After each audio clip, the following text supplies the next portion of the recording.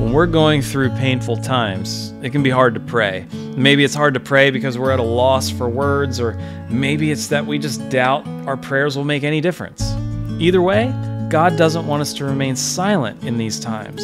Psalm 77 is a great example, the writer crying out in the midst of intense anxiety. Verse 2 says that he desperately prayed all night and he still couldn't find comfort. But even in his distress, he kept praying. He didn't give up. But his perspective of prayer was not one of instant gratification or even blame toward God. It's actually quite the opposite.